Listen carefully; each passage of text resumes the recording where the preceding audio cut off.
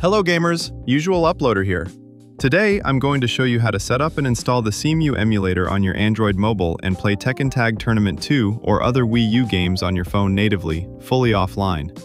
The recent update of the Cemu emulator, version 0.3, brings a lot of compatibility improvements. Now, even MediaTek mobiles can play these games. So, just follow the video till the end, step by step, if you want to install the emulator and play your favorite games. The first step is to go to the link given in my description or pinned comments and download this 30 megabyte file. After downloading the file, go to the Play Store and download Z-Archiver. After it's installed, open it and go to the folder where you have downloaded the file and extract the file into archive name. It will ask for the password and the password will be revealed in the video at some point. Just watch the full video until end. After extraction, go to the extracted folder and install the Cemu 0.3 APK.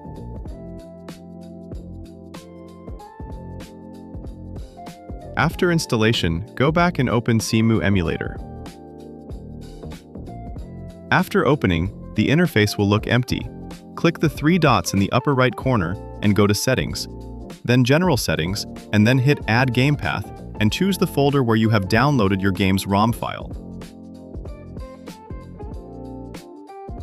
Press Use this folder and allow.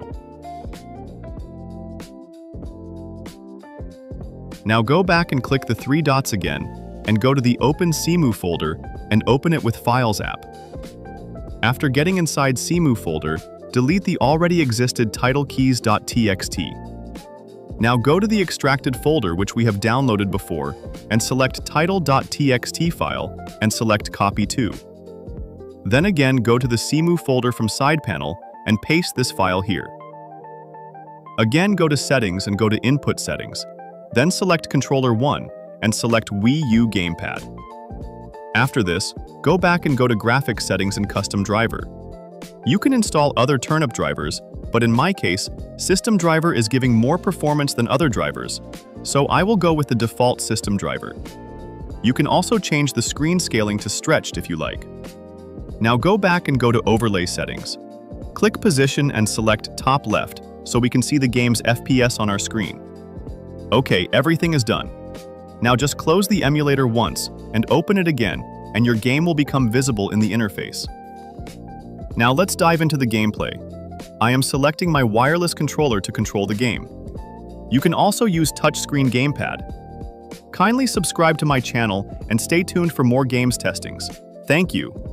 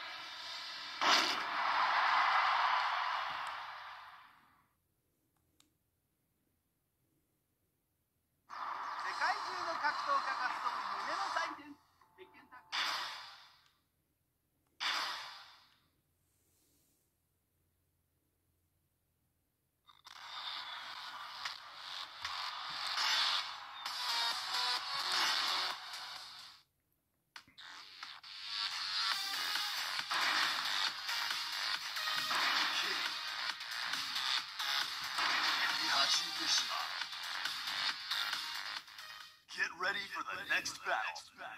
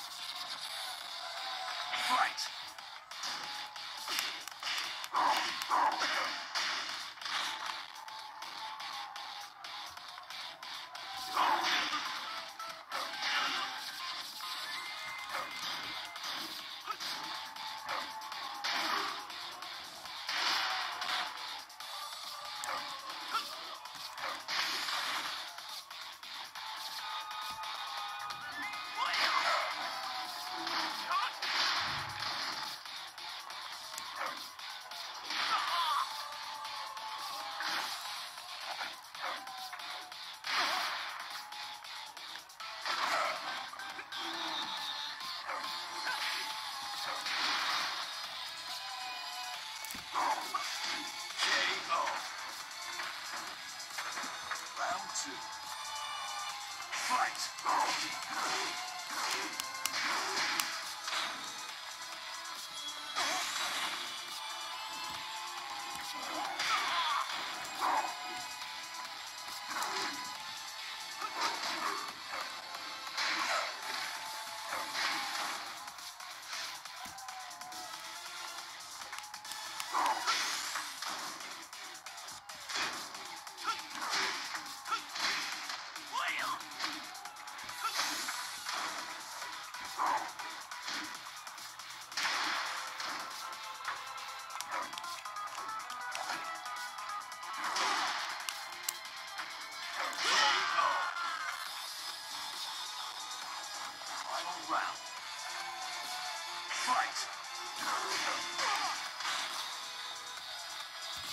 Oh.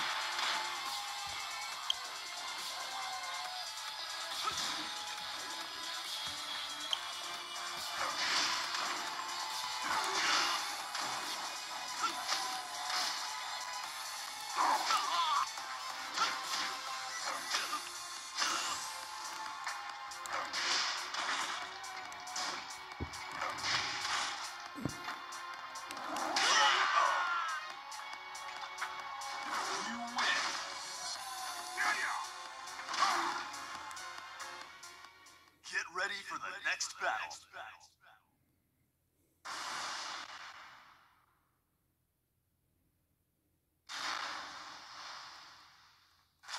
Round one. Fight.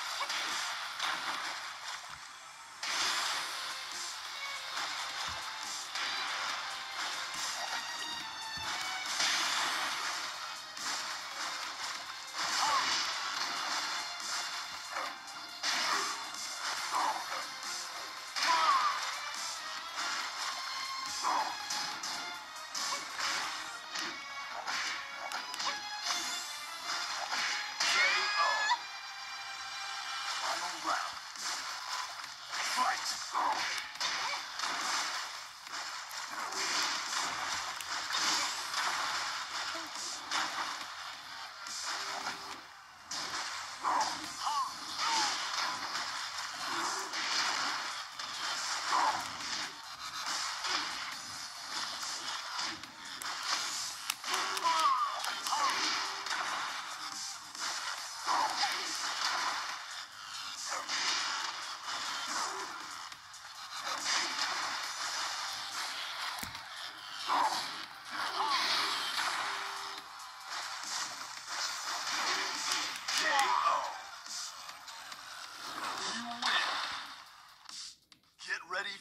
Next battle.